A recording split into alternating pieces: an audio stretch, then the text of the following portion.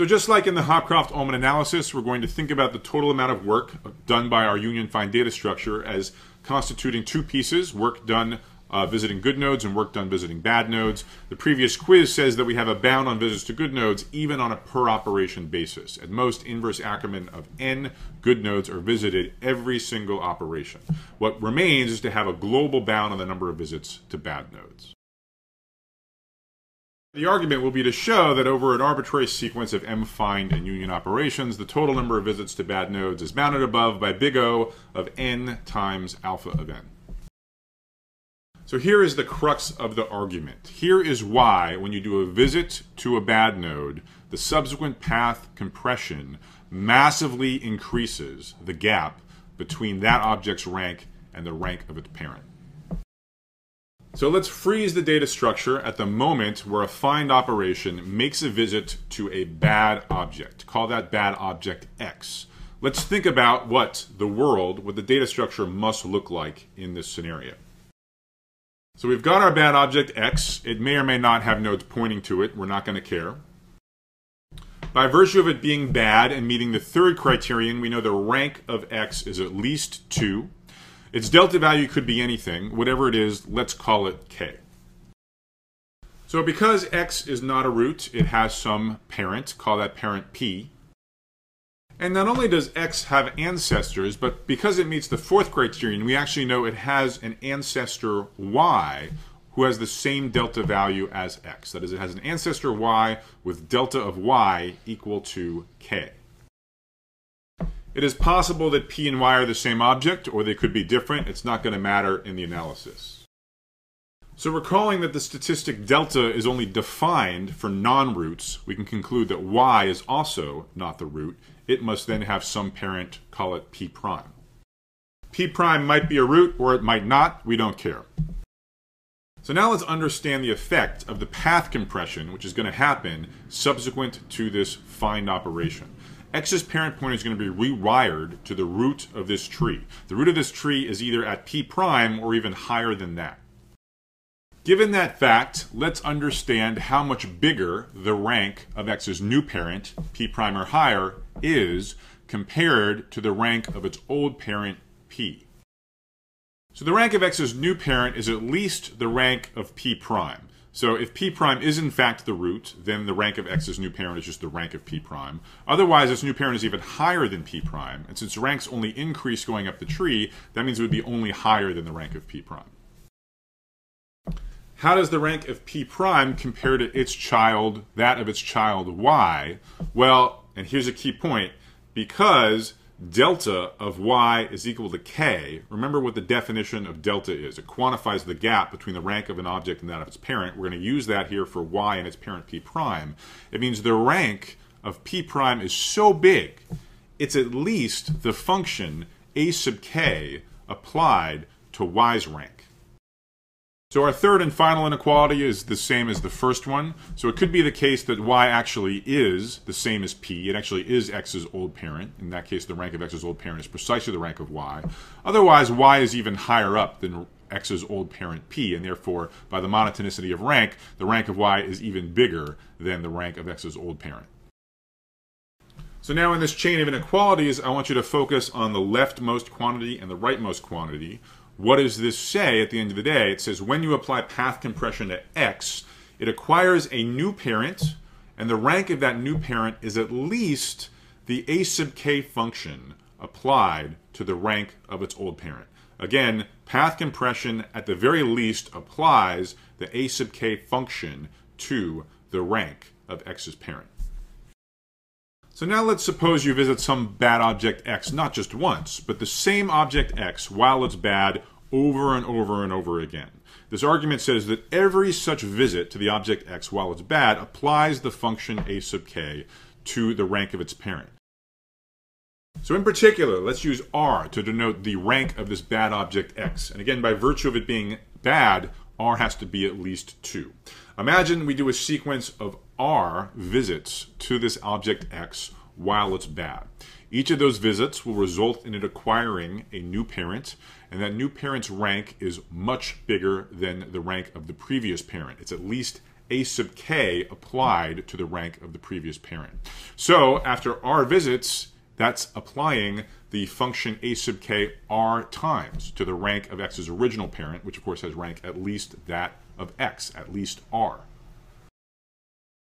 Well, we have another name for applying the function a sub k r times to r. Remember, this is just by definition of the Ackermann function, a sub k plus 1 applied to r. So what does this mean? Well, this means that after r visits to a bad object x that has rank r, the rank of x's parent has to have grown so much that that growth is reflected in our statistic delta that measures the gap in the rank between an object and the object's parent. So remember how we define delta of x, it's the largest value of k, so that the rank of x's parent is even bigger than a sub k applied to the rank of x. So what this inequality shows is that every r parent pointer updates to x allow you to take k to be even bigger than before. You can bump up k by 1 and still have this inequality be satisfied. That is, every r visits to a bad object of rank r, delta has to increase by at least 1. But there's only so many distinct values that the statistic delta of x can take on. It's always non-negative, it's always an integer, it can only increase, and it's never bigger than the inverse Ackermann function alpha of n. So therefore, the total number of visits to an object x while it's bad over an arbitrary sequence cannot be more than r, the number of visits needed to increment delta of x, times the number of distinct values, which is alpha of n, the inverse Ackermann function. So now we've done all the hard work. We're almost there. We just need one final slide putting it all together. All right, so to see how all of this comes together, let's first recall that all that we need to do is bound the total number of visits to bad objects over this entire sequence of union and find operations. So in the previous slide, we showed that for a bad object x with rank r, the total number of times it's visited while it's bad is bounded above by r times the inverse Ackermann function of n. So let's sum that over all of the objects to get our initial bound on the total number of visits to bad objects. So now we have to be a little careful here because there are n objects x, and ranks can be as large as log n. So a naive bound would give us uh, something like n times log n times alpha of n. And that's not what we want. We really want n times alpha of n. So we need to use the fact that not all nodes can have big rank. And that's exactly what the rank lemma says. So to rewrite this in a way that we can apply the rank lemma, bounding the number of objects with a given rank, let's bucket the objects according to their rank. So rather than summing over the objects, we're going to sum over possible ranks r, and then we're going to multiply times the number of objects that have that rank r. While I'm at it, let me pull the alpha of n factor, which doesn't depend on the object, out in front of the sum. For every value of r, the rank lemma tells us there are at most n over 2 to the r objects with that rank. So this factor of n is independent of the rank r, so let me pull that out in front of the sum. And when the dust settles, we get n times the inverse Ackermann function of n times the sum over non-negative integers r of r divided by 2 to the r. So we've seen this kind of sum without the r in the numerator, just a geometric sum 1 over 2 to the r. We know that's bounded by a constant. And more generally, throwing an r in the numerator, well, that's no match for this exponentially uh, decreasing denominator. So this sum still evaluates to a universal constant. I'll let you check that in the privacy of your own home. And so that gives us a bound of big O of n times the inverse Ackermann function of n on the total number of visits to bad objects. Since we also have a per operation bound of alpha of n on the number of visits to good nodes, combining the work of the two cases, we get O of m plus n times inverse Ackermann function of n. And again, the interesting case here is when m is big omega of n. Otherwise, you can just do this analysis separately for each tree in the data structure. And there you have it. You now understand in full detail one of the most amazing results in the history of algorithms and data structures. So Tarjan's bound is unimaginably close to being linear without actually being linear. It's off by this inverse Ackermann function factor.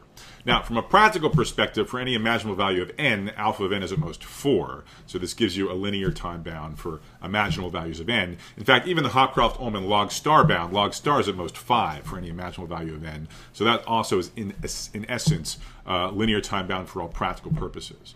But theoretically speaking, we have not proven a linear time bound on the amount of work done by the union find data structure. So the Pavlovian response of any algorithms researcher worth their salt would be to ask, can we do better? And we could ask that question in a couple different senses. The first sense would be, well, maybe we can have a sharper analysis of this exact data structure. Maybe union by rank and path compression is sufficient to guarantee a linear amount of work. After all, we didn't need to change the data structure. We only needed to change the analysis to sharpen the log star bound to an alpha of n bound. So this question, remarkably, Tarjan answered in the negative in his original paper. He showed that if you use this exact data structure, union by rank and path compression, then there are arbitrarily large sequences of unions and finds on arbitrarily large collections of objects so that this data structure actually performs asymptotically m, the number of operations, times the inverse Ackermann function of n, the number of objects, amount of work. That is, keeping the data structure fixed this analysis cannot be asymptotically improved. This data structure fundamentally has worst case performance governed by this insane inverse Ackermann function. So this is already a mind-boggling fact, and indeed Tarjan in the conclusion of his paper uh, notes that it's remarkable to have such a simple algorithm with such a complicated running time. But you can also ask the question, could we do better perhaps by improving or changing the data structure?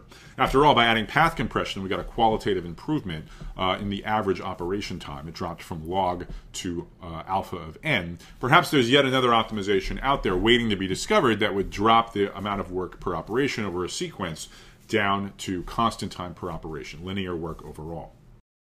Tarjan in his paper made the bold conjecture that there is no linear time method, no matter how clever you are, and remarkably, that conjecture has since been proved. It was proved for certain classes of data structures, uh, both in Tarjan in his original paper and in a follow-up paper in 79, but the final version of this conjecture was proven by Fredman and Saks back in 1989. No matter how clever you are, no matter what union find data structure you come up with, there will be arbitrarily long sequences of operations so that the average amount of work you do per operation is the inverse Ackermann function of the number of objects in the data structure. Pretty unbelievable. So let me just wrap up with a historical comment. So, so, full disclosure, I wasn't quite alive when this result came out, but in talking to and reading about it and talking to senior researchers about it, my sense is that it was really sort of a watershed moment for the field of data structures and algorithms. Specifically, it confirmed the belief of people working in algorithms and data structures that the field possessed surprising depth and beauty. There had, of course, been earlier glimpses of this. Uh, we mentioned in the optional material in part one Knuth's analysis of linear probing back in the early 1960s, but this was really something for the worst case analysis of algorithms and data structures.